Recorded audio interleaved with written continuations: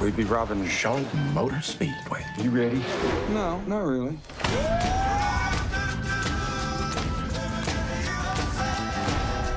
Would you give me my arm, please? Is it this one? August 18th.